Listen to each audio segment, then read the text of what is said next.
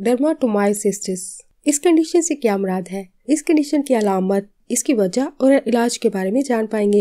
ये एक बहुत रेयर कंडीशन है। ये कमो पेशी इंसान को होती है। ये एक इन्फ्लेमेटरी डिज़ीज़ है। एक सोजिश की बीमारी होती है। इस कंडीशन की सूट में जो अलामत ज़ाहिर होती हैं, वो यह है कि इंसान की स्किन के ऊपर एक मखसूस किस्म के जल्द के ऊपर दाने ज़ाहिर होते हैं। स्किन रैशेज होते हैं और इन्फ्लेमेटरी मायोपैथी जैसी कंडीशन पैदा होती है। यानी सोजिश वाली मायोपैथी या फिर इन्फ्लेम मसल्स होना, यानी यानी अजलात पट्टों में सूजन पैदा होना।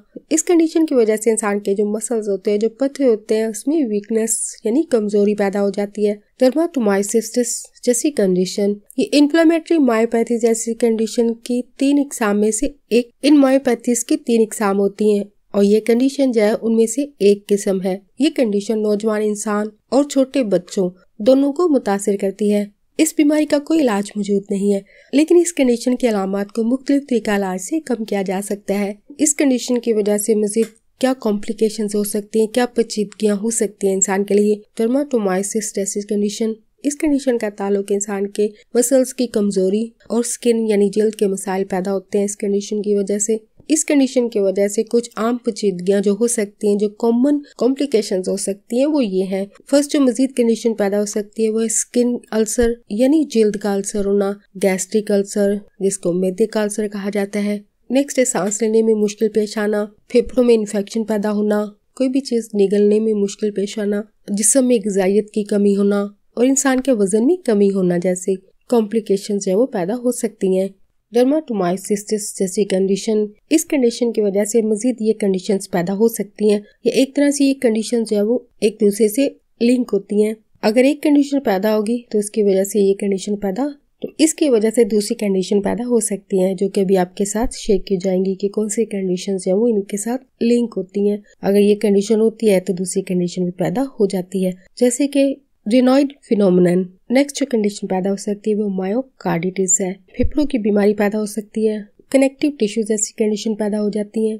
नेक्स्ट कैंसर के मजीद बढ़ने का खतरा बढ़ जाता है। अगर इस कंडीशन की तरीका इलाज की बात की जाए तो ऐसी कंडीशन के पैदा होने के बाद तकरीबन 20 फ़ीसद नौजवान इंसानों में ये कंडीशन जो है वो खुद ब खुद ठीक हो जाती है। लेकिन ज़्यादातर अपराध में ये कंडीशन जो है वो ठीक नहीं हो पाती है। इसका इलाज मुमकिन नहीं है। लेकिन इस कंडीशन की अलामत को लेकिन इस कंडीशन की अलामत को मुख्त तरीका इलाज से जो है वो कम किया जा सकता है।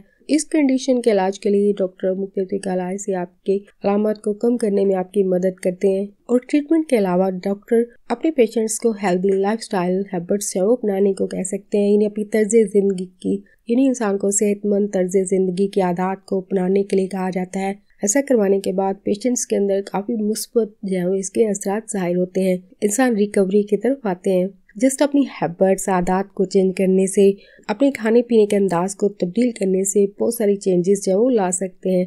सो, सोजिश को कम करने के लिए बाकायदगी से एक्सरसाइज करना, वर्जिश करना, इस बात को अगर हैबिट बना लिया जाए, आदत बना लिया जाए तो काफ़ी मुस्बत असरा जो है वो ज़ाहिर होते हैं। और इसके अलावा अपनी डाइट में कुछ चेंजेस लाने की ज़रूरत है, जैसे कैसी गजाओं का इस्तेमाल करना, जिनके इस्तेमाल से जिसमें होने वाली सोजिश से बचा जा सकता है। इसके लिए ऐसी गजा ऐसी गजा का इस्तेमाल करना जिसमें बहुत सारे फल और किन चीज़ों से परहेज करना चाहिए। इस कंडीशन की सूरत में प्रोसेस जो मीट होता है, बाज़ार से बना हुआ गोश्त या फिर डिब्बों में मौजूद जो गोश्त होता है, इसका इस्तेमाल बिल्कुल नहीं करना चाहिए। प्रोसेस्ड मीट से परहेज करना। इसके अलावा चीनी से बने हुए खाने, इसके अलावा मीठे खाने से परहेज करना चाहिए। होप आज की वीडियो आपके लिए इन्फॉर्मेटिव रही हो। अगर आज की वीडियो, अगर आज की वीडियो आपके लिए यूजफुल है तो प्लीज़ वीडियो को लाइक लाजमी कीजिएगा। मुझे सपोर्ट करने के लिए शेयर लाजमी कीजिएगा वीडियो को। टॉपिक से रिलेटेड कोई क्वेश्चन हो तो प्लीज़ कॉमेंट में लाजमी लिखिएगा। वंस अगेन वीडियो बनाने की एफर्ट अगर अच्छी लगी है प्लीज़ वीडियो को लाइक लाजमी कीजिएगा। आपका वीडियो देखने के लिए बहुत शुक्रिया।